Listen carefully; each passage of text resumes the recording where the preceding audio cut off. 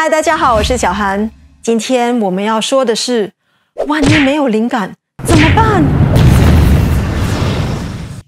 我星期六都在上作词班，学员们常常都会说：“老师，我今天不能交功课，因为我没有灵感。”其实灵感很多时候会自己跑进来。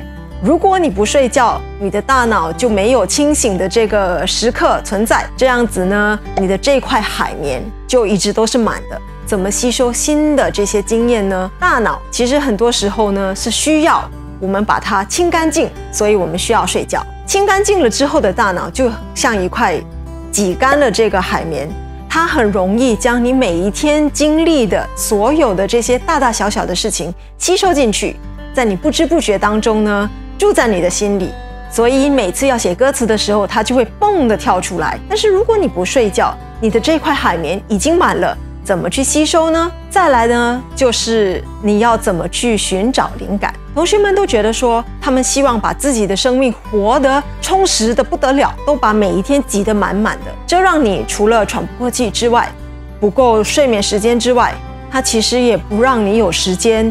去进步，其实很多的时候呢，我们在休息的时候可以多看书，可以多听音乐，可以到户外走走，可以去旅行。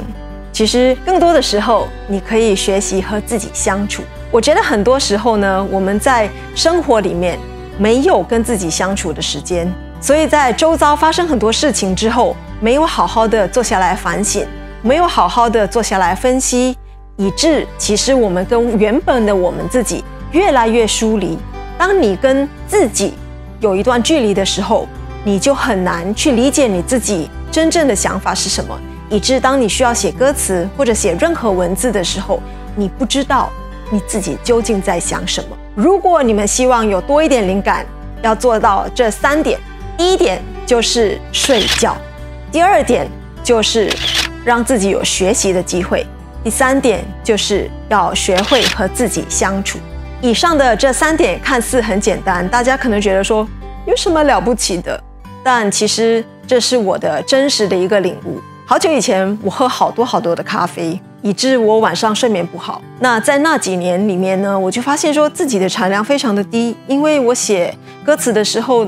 总是不能好好的发挥，也不知道应该要写什么，所以教出来的这些歌词呢，总是觉得说缺少些什么，没有什么的灵气，也没有什么的这个呃特别的地方。第二就是我没有时间看书，因为我总是觉得说我应该把我自己的生活填得满满的。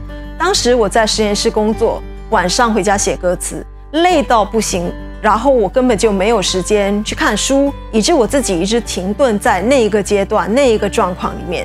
这样子的话，我可能说昨天写不出歌词，我今天如果维持同样的状况，我也一样写不出歌词。第三，学会和自己相处。呃，可能因为我自己本身。呃，喜欢运动的关系，所以我常常每天，几乎每天我都会呃到户外去晨跑一个小时，那是我非常珍惜的，没有人可以打扰的一个时间。在那段时间里面，我总是会在脑海里不断的反思我做的一件事情，应该以什么角度，应该以什么观点去呃对待，是不是可以做得更好？那我是不是应该后悔，还是应该怎么去寻求进步？这些在一个小时里面都被我理清楚了，也因为这样子，我在写可能说一些温暖的情歌或者些励志歌词的时候，我派得上用场，因为那是我自身理解到的一些新的观点。所以这三个小贴士，我希望可以帮你们打通你们的瓶颈。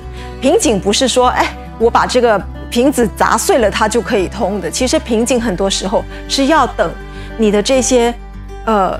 堵住你的瓶颈的这一些杂物，慢慢的沉淀下来，消失掉了之后，你的灵感自然就会来。今天我们在这里讲的这些小贴士呢，希望可以帮到你们呢，解除你们瓶颈的问题。